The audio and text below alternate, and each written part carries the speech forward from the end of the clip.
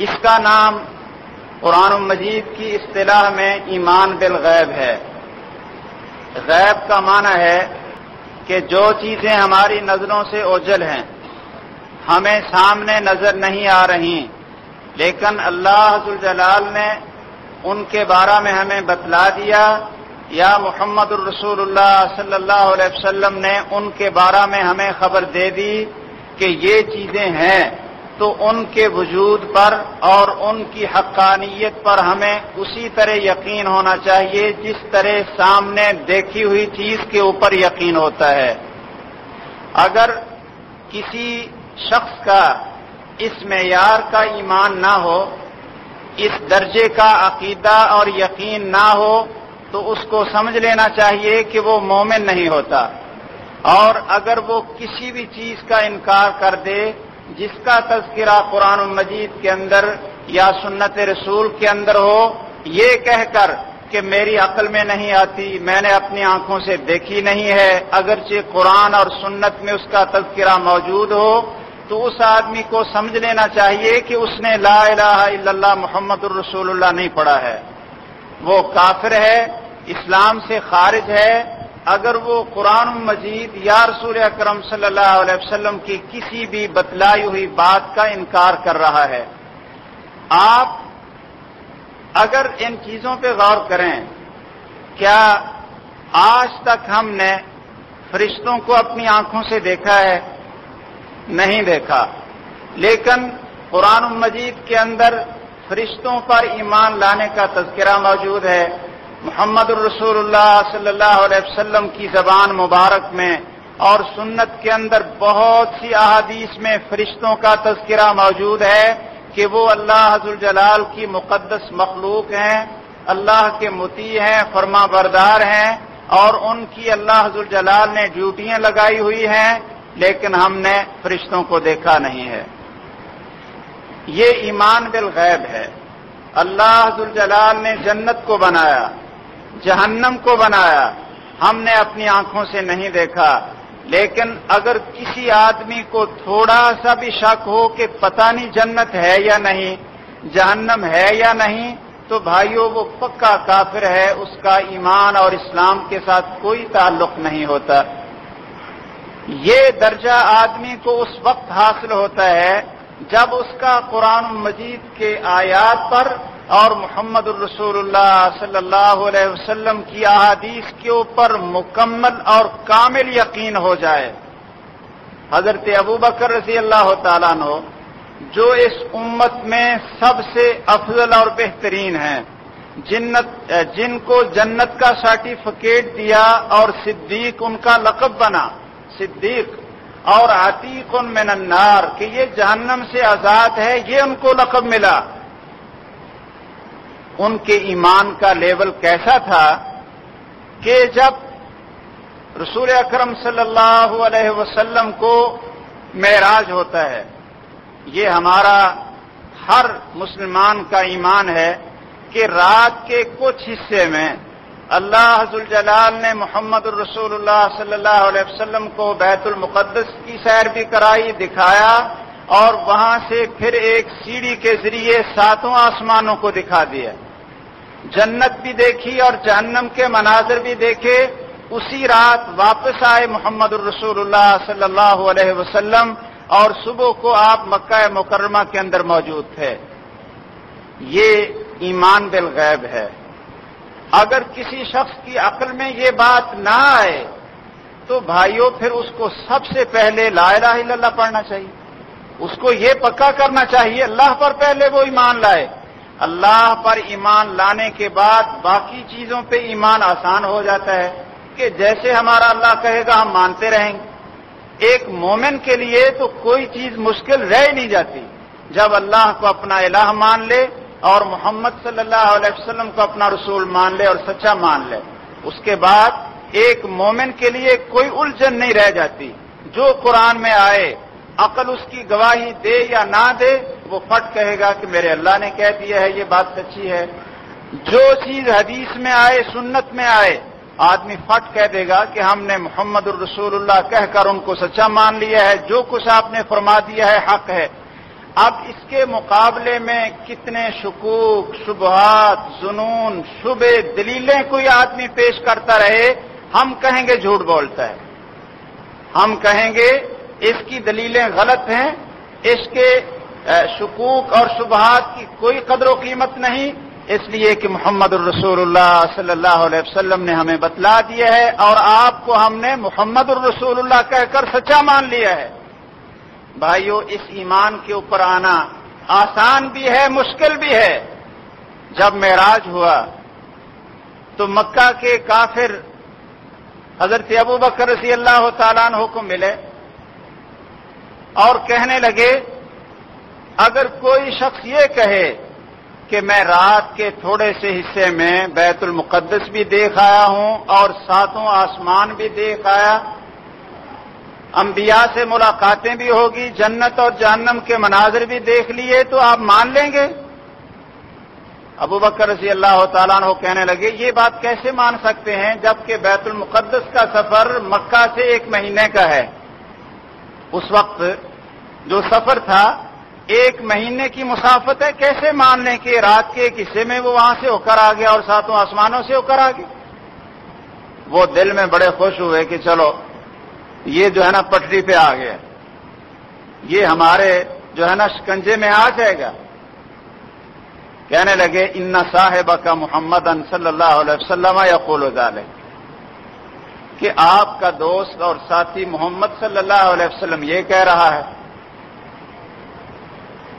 तो फरमाने लगे, इन कालाहू सदक, अगर उसने ये बात की है, फिर सही है।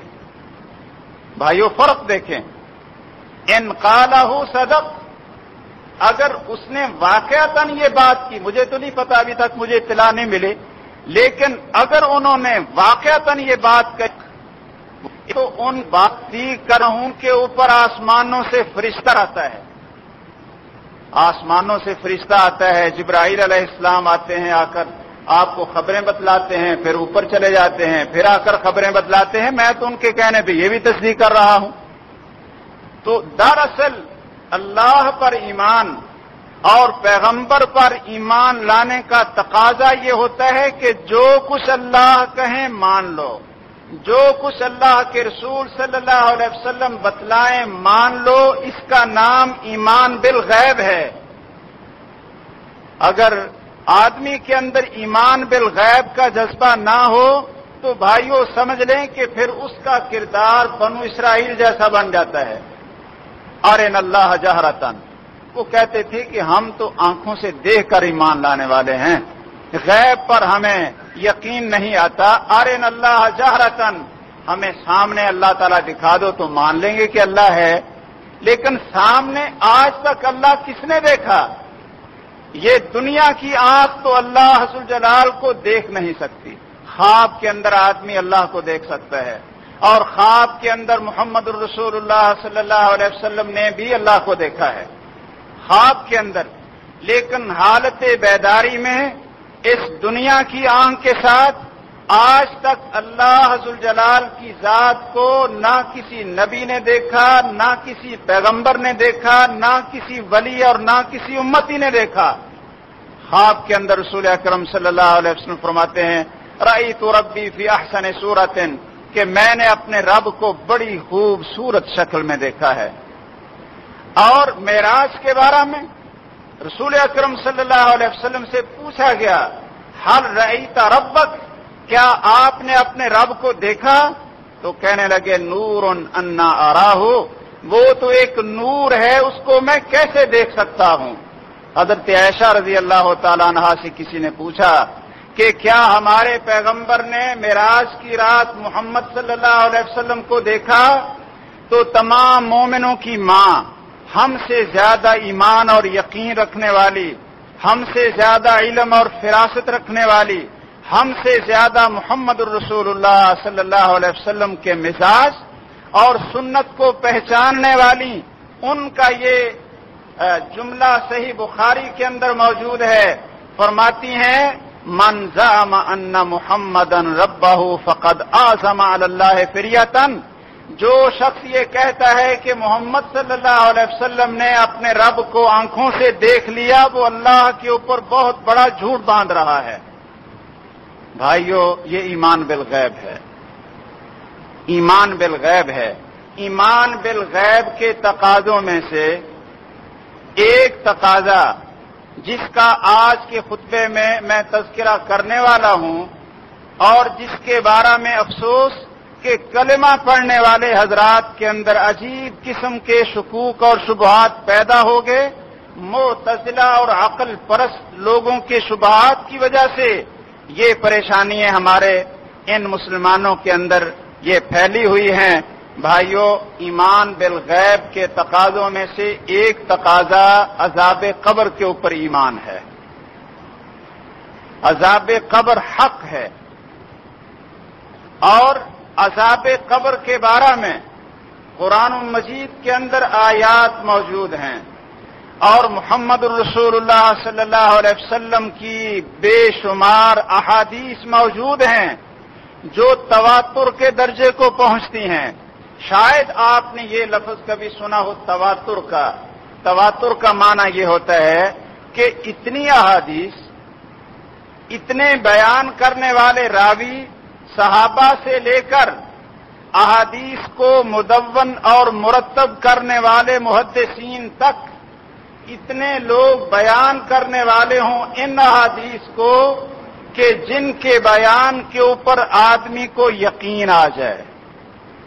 यकीन आ जाए कि वाकता ये मोहम्मद रसूलुल्लाह सल्लल्लाहु अलैहि वसल्लम ने फरमाया है तो अजाब कब्र के बारे में अहादीस मुतवातिर हैं। मुतवातिर हैं।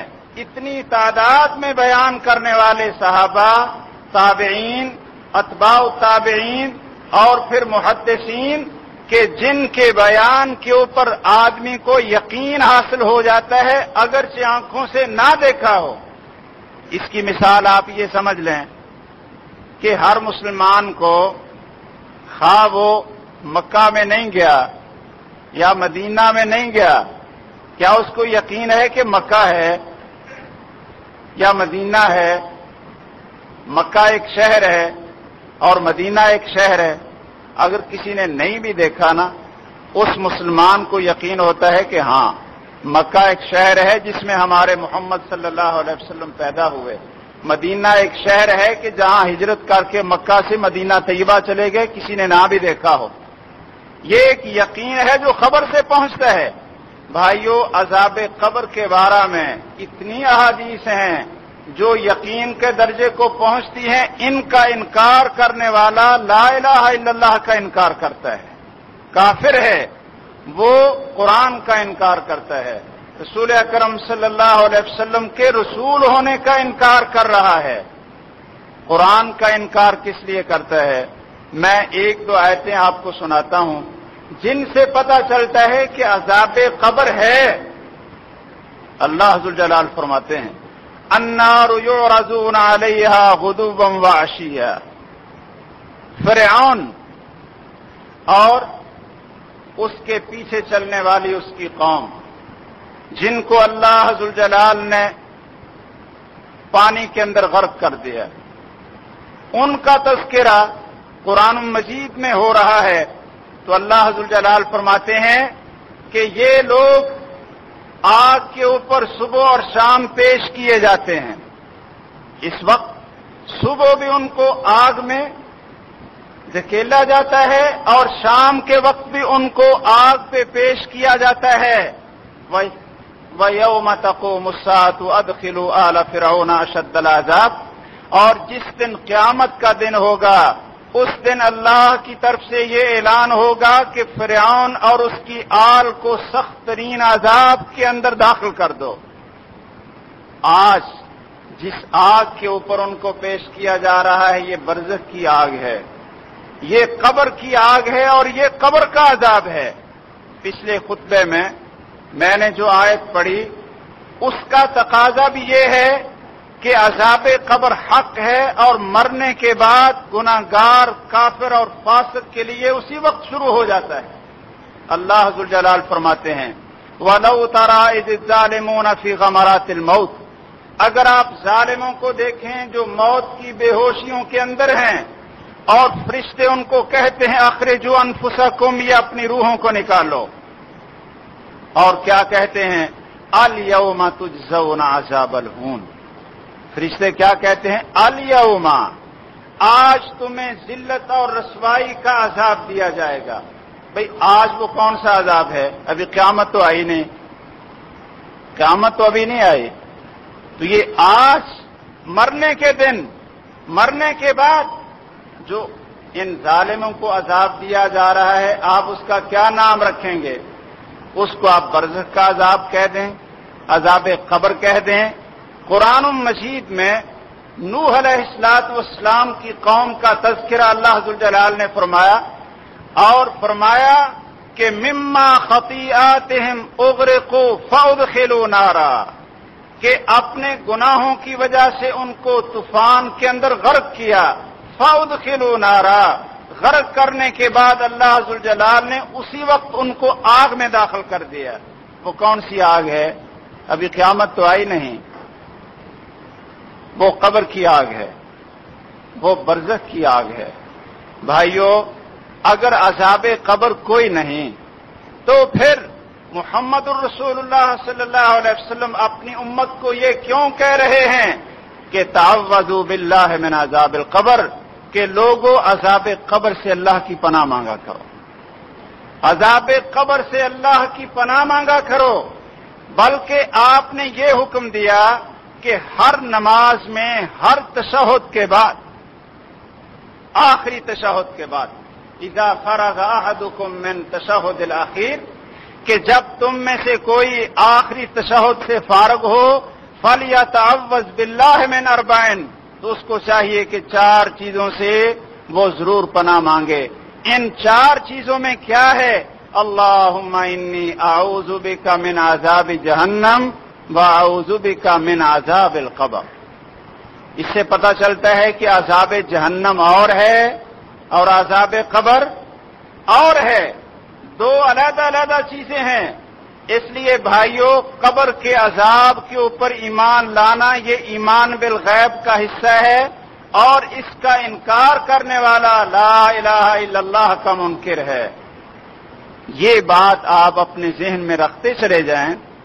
कि हमारी मुराद अजाब कब्र से ये नहीं होती कि अगर किसी आदमी को ये ज़मीन का एक घड़ा खास नहीं मिलता तो उसको फिर आजाब ही नहीं होता। कई भाइयों के जहनों में ये शुबा डाल दिया जाता है, जी आप कहते हैं कि अजाब कब्र है और ये जो गड़ा होता है, उसके अंदर इसको अजाब हो रहा होता है तो जिसको ये गड़ा मिलता ही नहीं। फिर उसको अजाब कैसे होता है? भाइयों, ये बात आप अच्छी तरह समझ लें। इस शुबे का इजाला, ये कोई शुबा है ही नहीं। इसकी कोई हकीकत नहीं है। क्यों? हमारा ये ईमान है कि जिसको ज़मीन का जो गड़ा मिला है, जो जगह मिली है, वो जहाँ भी है, वो उसकी कब्र है। वो जहाँ भी है, उसको जलाकर उसकी राह को आप पानी में बहा दें। इस राह के जर्रात जहाँ जहाँ होंगे, वो उसकी कब्र है। आप उसको जलाकर उसकी राह के जर्रात अंधेरी और हवा में उड़ा दें। वो जहाँ जहाँ होंगे, वो उसकी कब्र है और वहाँ वहाँ उसको अजाब हो रहा है। उसको अगर ज़मीन का एक खास गड़ा मिला, यहाँ भी उसको अजाब हो रहा है।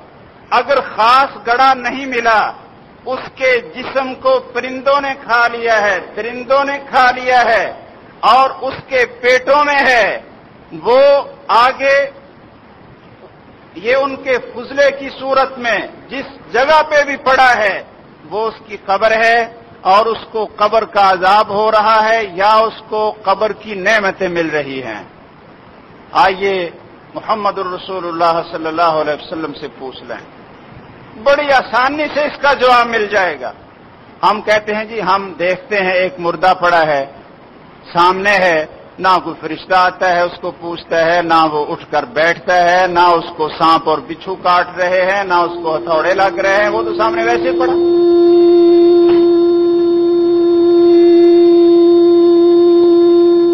हम कैसे मान जाएँ कि हमारे सामने आदमी को अजाब हो रहा है और उसकी कोई कफियत हमारे सामने बदली नहीं? भाइयों, हम ये मान लेते हैं कि इधर भी फरिश्ते हैं और इधर भी फरिश्ते हैं। ये ईमान है या नहीं? दिखाओ कहाँ है फरिश्ते? अगर हम कहें कि दिखाओ कहाँ है फरिश्ते? ईमान तो इंसान का ईमान तो जाता रहेगा ना। ईमान बिल गैब का माना मुझे बताओ। ईमान बिल गैब का फिर माना क्या होगा? कोई आपसे ये पूछे कि तुम कहते हो दाई तरफ़ फरिश्ते हैं, बाई तरफ़ फरिश्ते असर को आते हैं, फजर को आते हैं? हर वक्त आपके साथ लगे हुए हैं, लिख रहे हैं, दिखाओ कहाँ है? हमारा जब अल्लाह पर और अल्लाह के रसूल के बतलाने पर यकीन आ जाए कि सामने पड़ी हुई चीज़ है, हमें नज़र नहीं आ रहा कि उसको अजाब हो रहा है। हमें नज़र नहीं आ रहा कि वो नेमतों के अंदर है, लेकिन हकीकत यह है कि उसको अजाब हो रहा है या वो नेमतों के अंदर है। रसूल अकरम सल्लल्लाहु अलैहि वसल्लम फरमाते हैं, एक आदमी था उसने अपने बेटों को एक नसीहत की। मरते वक्त एक वसीयत की। कहने लगा कि मैं जब फौत हो जाऊँ, रूह कब्ज हो जाए तो मुझे आग में जलाना। आग में जलाना। और मेरी राख ये पानी के अंदर, हवा के अंदर उड़ा देना। क्यों? मुझे डर है कि अगर अल्लाह जलाल ने मुझे इकट्ठा करके फिर वैसा इंसान बना लिया और पूछा तो मैं अल्लाह को क्या जवाब दूँगा? बड़ा गुनाहगार हूँ। मुझे डर लगता है कि कहीं अल्लाह ताला मुझे इकट्ठा करके पूछ ही ना ले। बहुत हो गया। बेटों ने उसकी वसीयत पे अमल किया, उसको जलाया और उसकी राह को हवा समुन्दर के अंदर बहा दिया। फौत हो गया। उसकी हवा उसकी राह को बखेर दिया गया। अल्लाह जलाल ने फरिश्तों को हुक्म दिया। ज़मीन को हुक्म दिया कि इसका जहाँ जहाँ जर्रा है सबको इकट्ठा कर दो। अल्लाह ताला तो कौन कहें तो फयाकून हो जाता है। कौन? फयाकून। हो जा, हो गया। आदमी सामने अल्लाह जलाल ने खड़ा कर लिया और पूछा कि ये तूने अपने बेटों को कैसी बात कही थी? क्यों कहा था? उसने कहा, मिन खशियती का यार अब है मेरे रब, तेरे अजाब से डरते हो। तेरा खौफ था कि मैं गुनागार हूँ। तेरे अजाब से डरते हुए मैंने ये वसीयत की थी। फगाफर हो ये आदमी अल्लाह से डर गया था ना? अल्लाह का खौफ इतनी बड़ी चीज़ है कि अल्लाह हसुल जलाल ने इस आदमी को बख्श दिया, माफ़ कर दिया। भाइयों, अब इस आदमी को जला दिया गया था इसकी राह को उड़ा दिया गया था, लेकिन अल्लाह जलाल का उसको अजाब देना या उसको नेमतें पहुंचाना ये मुश्किल है। सामने चीज़ पड़ी हुई हो, आदमी ख्वाब देख रहा होता है और वो बड़ी चीज़ें देख रहा होता है, लेकिन हमें कोई चीज़ महसूस नहीं होती, उसको हर चीज़ महसूस हो रही होती है। ये एक हमारे सामने मिसाल है। वो ख्वाब में रोता है, चीखता है, चिल्लाता है, उसके चेहरे पे पसीना भी आ जाता है, वो तकलीफ़ भी महसूस करता है, उसकी आँखों से आँसू भी आ जाते हैं। ये सारी कैफियत उस पर तारी होती है, लेकिन पास बैठा उसको देख रहा है, कोई चीज़ उसको नज़र नहीं आ रही। ईमान बिल गैब का तकाजा है कि कब्र के अजाब पे ईमान रखें। कब्र का अजाब जिसका दूसरा नाम बरजह का अजाब है। भाइयों, आप कब्र ये ना समझें कि सिर्फ़ एक खास गड़ा होता है, बल्कि जिस जगह पे भी जिसम के जर्रात और जिसम के टुकड़े पहुँच जाएँ, वो उसकी कब्र है। और अल्लाह हजुल जलाल अगर नेक है तो उसको नेमतें पहुंचाएगा, वही उसकी कब्र है। और अगर बुरा है तो अल्लाह हजुल जलाल के अजाब और पकड़ से बच नहीं सकता है। इसके ऊपर ईमान लाना हर मुसलमान का फ़र्ज़ है और ईमान का तकाजा है। अकल परस्तों के पीछे पड़कर अजाब कब्र का इनकार नहीं करना चाहिए। कई पंफलट, कई ऐसे रिसाले और कई किताबें ऐसी नज़रों से गुजरी जिनमें सिर्फ़ इस बात को बुनियाद बनाकर कि जी हमें तो नज़र कुछ नहीं आता, हमें तो नज़र कुछ नहीं आता अगर हम अपने ईमान का ये मैार बना लें तो फिर हमें जो नज़र नहीं आता, हर चीज़ का इनकार कर दें। और अल्लाह दीना यो मैनूना बिल गैब, कि गैब पर ईमान लाने का वस ये हमारे अंदर से खत्म हो जाए। और ईमान की बुनियाद ही ये है ईमान बिल गैब। अल्लाह हसुल जलाल जो बतलाएँ मोहम्मद रसूलुल्लाह सल्लल्लाहु अलैहि वसल्लम, जिस चीज़ की खबर दें, उसके ऊपर ईमान लाया जाए। आइए अजाब कब्र के बारे में एक और चीज़ पे गौर करते हैं कि वो कौन से गुनाह हैं, कौन से जुर्म हैं, कौन सी अल्लाह की मासीत और नाफरमानी है जिसकी वजह से कब्र का अजाब होता है। और कौन सी नेकियाँ हैं, कौन से काम हैं जिसकी वजह से आदमी को कब्र के अंदर आसानी मिलती है और कब्र के अजाब से छुटकारा मिलता है। आदमी को इन दोनों चीज़ों की फ़िक्र करनी चाहिए या नहीं? कि वो कौन से काम हैं जिनको हम करें तो अल्लाह की रहमत से, अल्लाह के फजलो करम से, अजाब कब्र से हमें निजात मिल जाए। और कौन से काम हैं कि जिनको अगर कोई शख्स करता है तो भाइयों, फिर अजाब कब्र का उसको मज़ा चखना पड़ता है। आइए, जरा चलते चलते इनके ऊपर गौर कर लें। अगर हमारे अंदर वो गुनाह हैं, जिनकी वजह से अजाब कब्र होता है तो भाइयों, उनको छोड़ दें। अल्लाह से मुआफी मांगे इस्तफार करें, तौबा करें, और अल्लाह से तौफीक मांगे, उन गुनाहों को छोड़ दें। और वो काम जिनकी वजह से आदमी की हिफाजत होती है, राहत मिलती है, सुकून मिलता है, कब्र के अंदर नेमतें मिलती हैं। कब्र खुल जाती है, कुशादा हो जाती है, और नेक अमल, खूबसूरत शक्लें बनकर इंसान के सामने आ जाते हैं। उन आमाल को करने की कोशिश करें और अल्लाह हजुल जलाल से तोफीक मांगें। अजाब कब्र में एक बहुत बड़ा सबब, वो इंसान का पेशाब से ना बचना। जो इंसानी पेशाब है, ये नजस है, नापाक है। अगर कोई शख्स अपने पेशाब से बचता नहीं, उसका पेशाब उसके जिस्म और कपड़ों पे लगा रहता है और पड़ा रहता है। वो सफ़ाई नहीं करता अपने कपड़ों और अपने जिस्म को बचाता नहीं अपने पेशाब से। इस शख्स को कब्र के अंदर आज़ाद दिया जाएगा।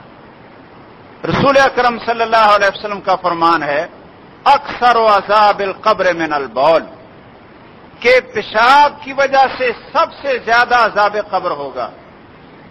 इस तन से हो में नलबौल फ़ैन आमत अजाब कब्र में हो आप फरमाते हैं, पेशाब से बचा करो, अपने आप को बचाओ अपने पेशाब से।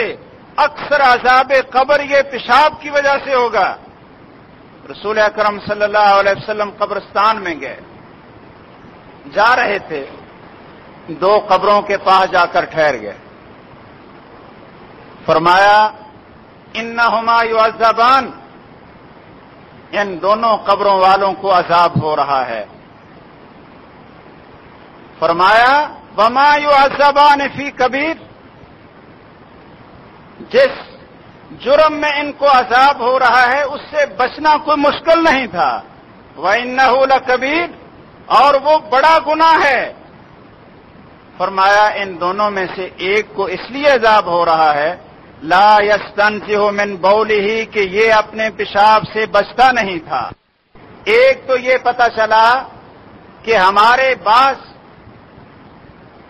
जो हजरात ये कह देते हैं कि इस कब्र में अजाब नहीं होता।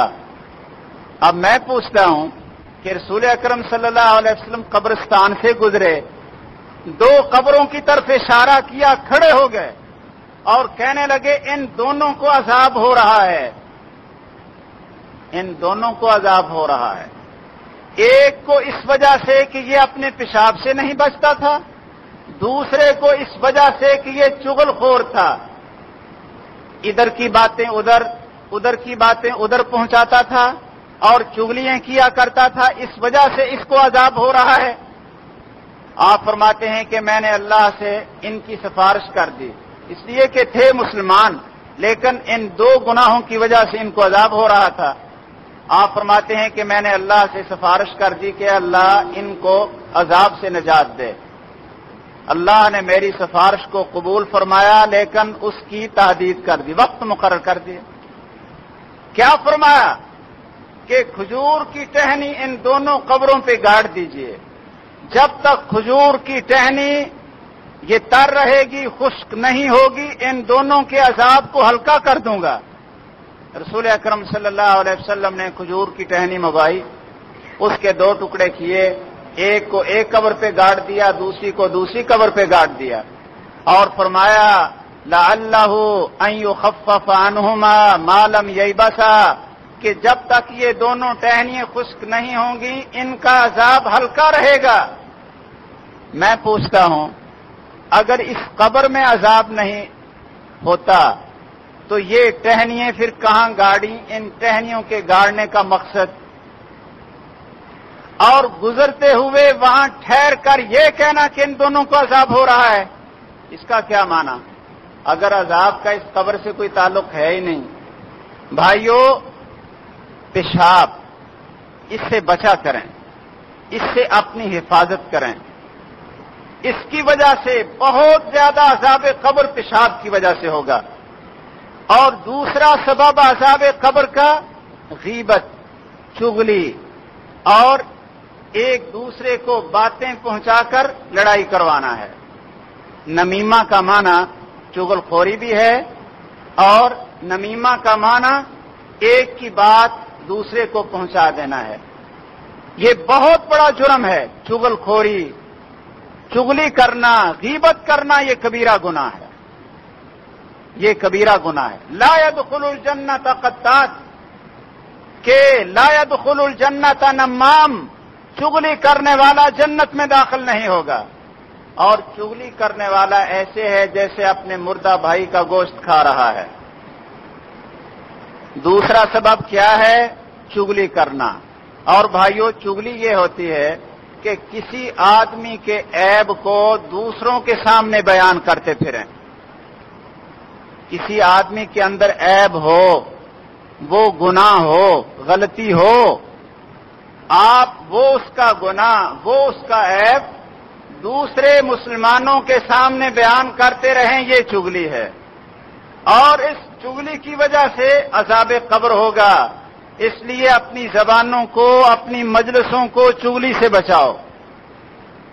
और ये ज़्यादा बीमारी, नेक लोग जो अपने आप को नेक समझते हैं ना, दीनदार समझते हैं, नमाजी होते हैं, शैतान वहाँ दाव लगाता है।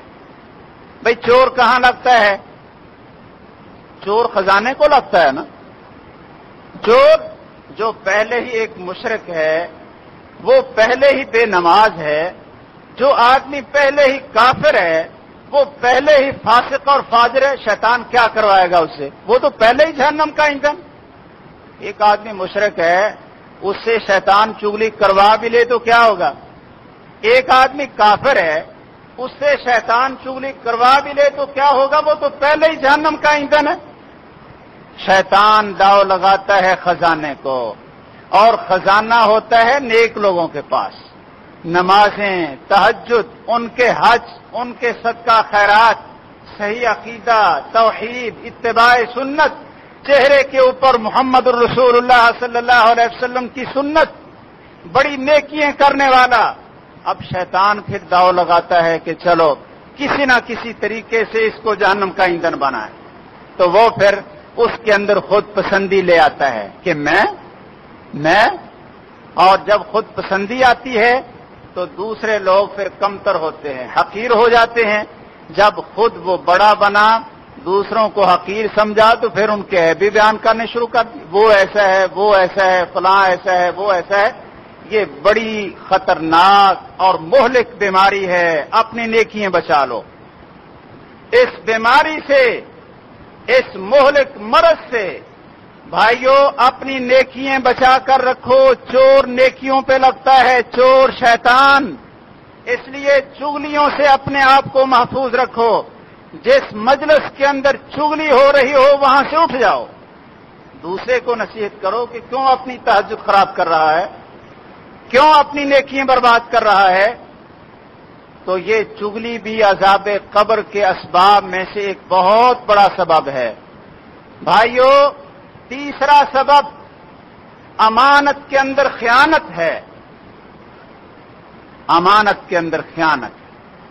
जो आदमी अमानत के अंदर खयानत करता है, वो अजाब कब्र से कैसे बचेगा? आप एक वाक्य सुने तो रोंगटे खड़े हो जाते हैं। रसूल अकरम सल्लल्लाहु अलैहि वसल्लम के साथ एक आदमी मैदान जिहाद में निकलता है। अल्लाह अकबर।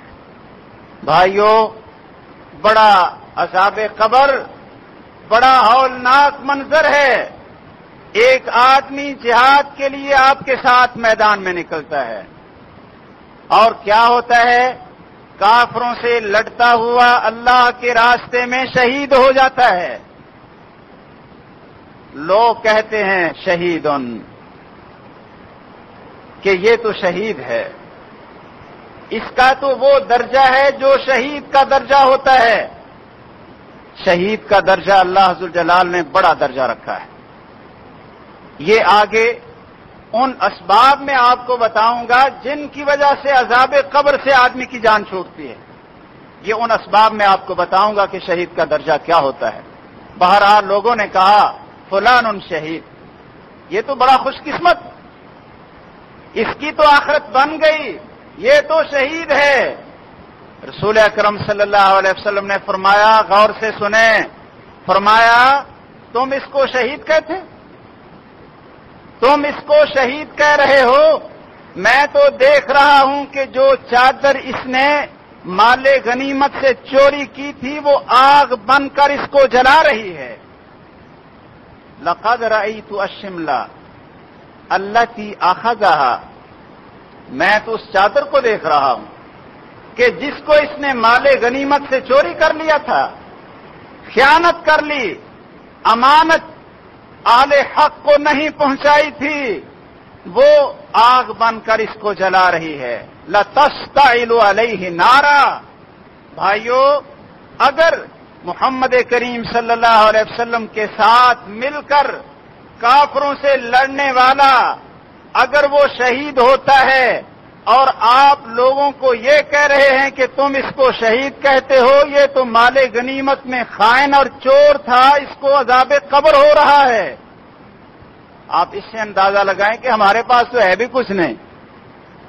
हमारे पास तो है भी कुछ नहीं। इसलिए ख्यानत से बचो। किसी के माल में ख्यानत ना करो। और जरा भी ख्यानत ना करो।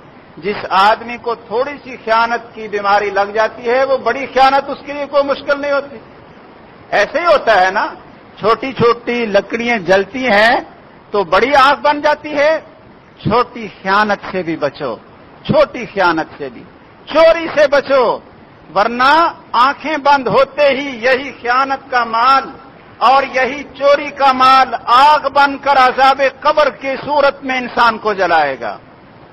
भाइयों, अजाब कबर का एक सबब और भी होता है। वो क्या होता है? रसूल अक्रम वसल्लम फरमाते हैं कि मेरे पास फरिश्ते आए। सही बुखारी की हदीस है। फरिश्ते आए। दोनों मुझे पकड़ कर ले गए। क्या देखा? दोनों ने बाजू पकड़े और ले गए। क्या देखा? एक आदमी के मुँह को, बाशों को चीरा जा रहा है।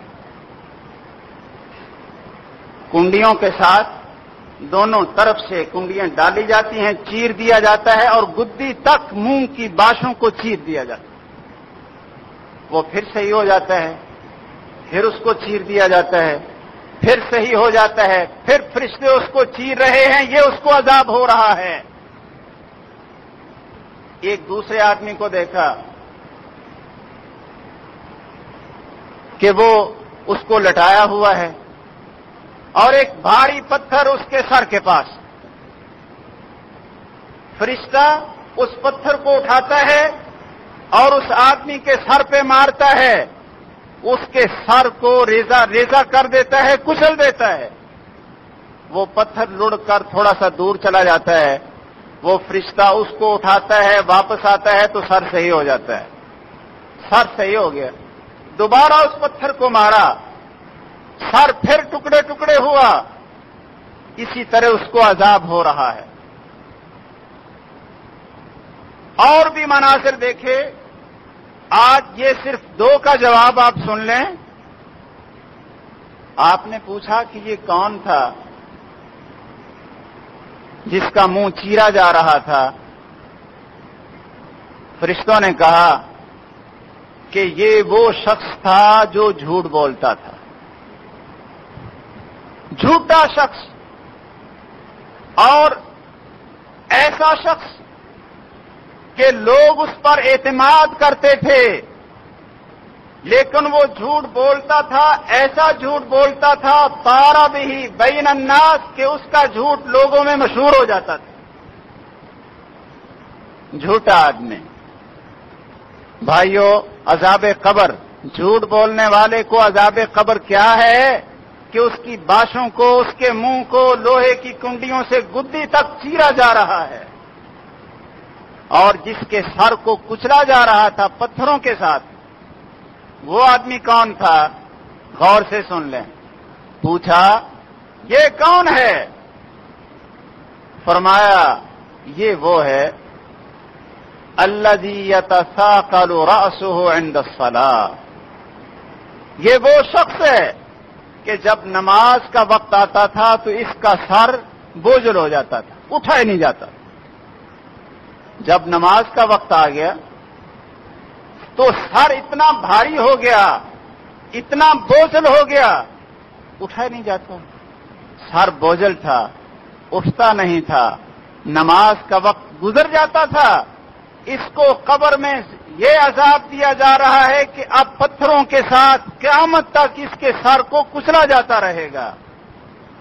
भाइयों, अल्लाह से दुआ करें कि अल्लाह जलाल हमें अजाब कब्र से नजात दे। अजाब कब्र से हमारी हिफाजत फरमाए। आइंदा मैं आपको और भी इसबाब बतलाऊँगा कुरान सुन्नत की रोशनी में, जिनकी वजह से अजाब कब्र हो सकता है, और वो इसबाब और वो नेक काम जिनकी वजह से अजाब कब्र से आदमी अपने आप को महफूज कर सकता है। अल्लाह की रहमत से ये आगे आपको बतलाऊँगा। अल्लाह जलाल हम सबको अमल की तोफीक दे दे और अपनी रहमत से अपने फजलो करम से अल्लाह जलाल हमारे गुनाहों को मुआफ फरमा दे और हमें नेकी करने की तोफीक दे। आमीन व खुदा वना अलहमदिल्ला रबीला भाइयों एक और सवाल जो बहुत से भाई तकरीबन ये आ, पिछले हफ़्ते से पिछले दस दिनों से जहाँ भी चले जाएँ टेलीफोन के पास बैठ जाएँ तो वहाँ भी यही सवाल पूछा जाता है